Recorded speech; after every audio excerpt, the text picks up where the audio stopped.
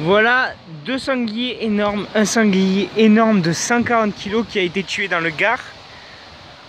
Putain, énorme. 140 kg.